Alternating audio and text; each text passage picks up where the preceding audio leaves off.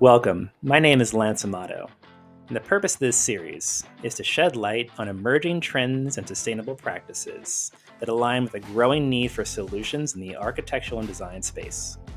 In each chapter, I will open the door of discovery to our community and provide references to learn more, which they can apply to their daily practice.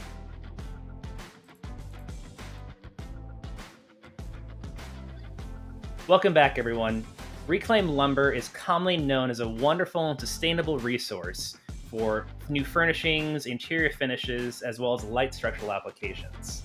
What many are unfamiliar with is the actual process of reclamation and the timeliness it takes to remove the nails that are embedded within the lumber that it came from from its prior life.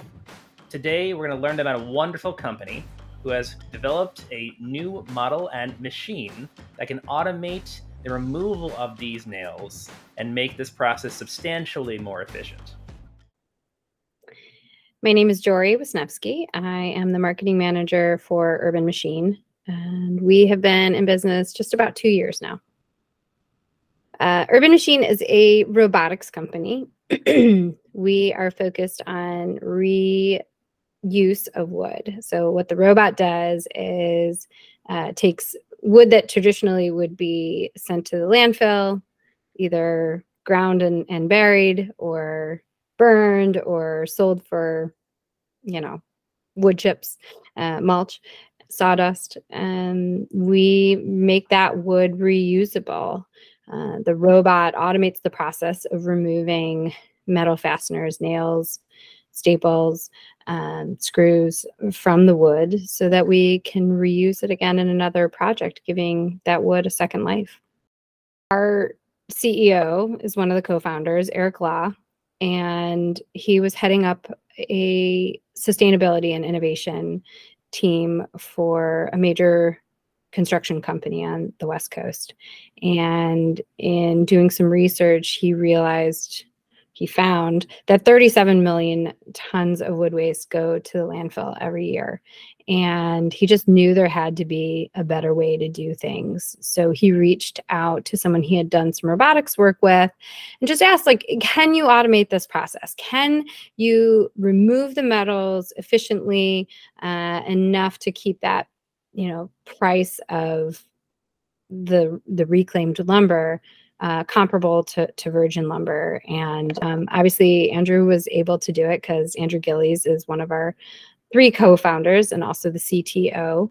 Um, and the two of them got to work right away and built a, desktop version of it. And, and quickly um, they got Alex Thiel, our third co founder, and the chief software architect on board. And it's amazing to me that within this two years, from literally concept to now, we are testing 3.1 version of the robot.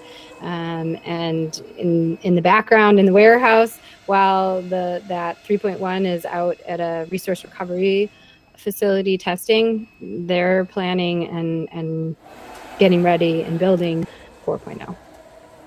So uh, the goal is um, light structural applications. Um, we have been selling our wood to furniture companies. They're building everything from tables to pot plant potter uh, pot, potting plants um, awards they've made all kinds of really cool things out of the wood um, and then beautiful architectural pieces something that we're doing is putting a qr code on our wood so that you can read and about the story of where the wood came from. So, you know, kind of picture yourself, you walk into this building and there's big beautiful old growth beam with you know tight grains and, and, that wood just looks different it's warmer it's it's just a beautiful color um, and then you scan the qr code and tells you that you know this wood was in a building, you know, in San Francisco that was built in 1920. You know, it was a cannery, whatever it was used for. Um, so it, it, the story continues, which is really cool. We're here for a finite amount of time.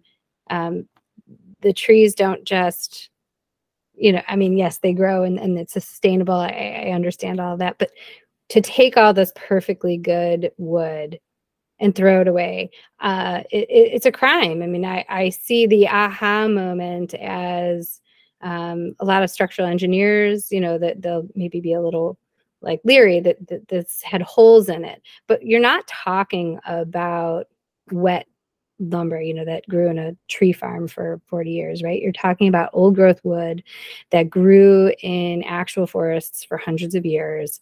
And then it has been just standing in a building for the last 40 to 100 years dry and, straight.